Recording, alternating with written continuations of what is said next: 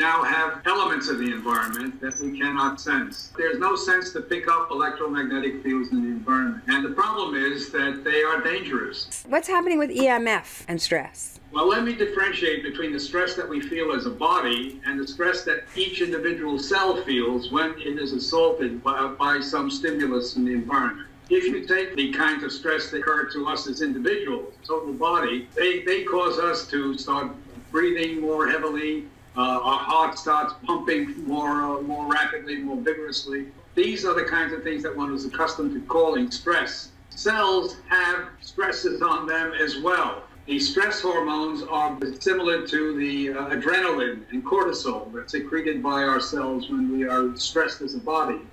So these stress proteins are, are made by the cells when they are assaulted by EMF. The EMF actually causes the DNA to come apart. These occur at very low energy.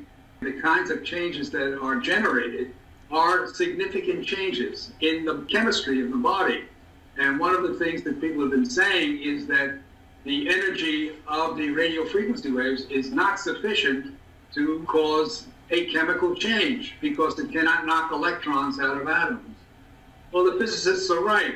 You cannot knock electrons out of atoms with radio frequency radiation, but you can generate a whole lot of biochemical reactions in the cell.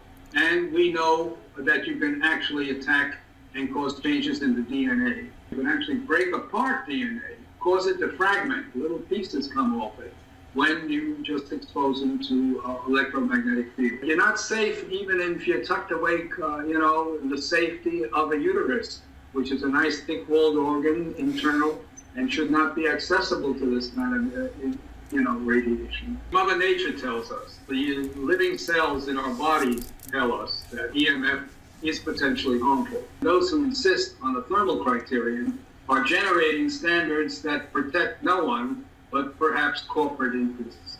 Where are we headed? It doesn't look too good. I think there, there are very few controls that are in there now. Without controls, we're just going to keep on proliferating and more and more of this. I think what's going to happen is that people will probably, there'll be a point where so many people will be affected as it will, uh, it will change the way we do things. Change occurs in a society when it has some kind of crisis. And I think the crisis may come uh, sooner than we expect. You mean when the body count adds up to the point that they have to wake up? Is that what you see for a crisis? Yeah, body count, not necessarily dead people, but body count of people who cannot function in society the way it is.